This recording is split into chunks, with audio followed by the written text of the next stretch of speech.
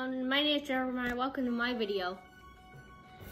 Today we're about to build a Lego Terminator. So put these three, so you put three pieces top to each other. You put it on the bottom. Then the top part will be the head. Okay, you put this piece on here to make the laser arms. Second one here because you can make two of them together. Now for the bottom. So these are the legs. Now you put the top on here.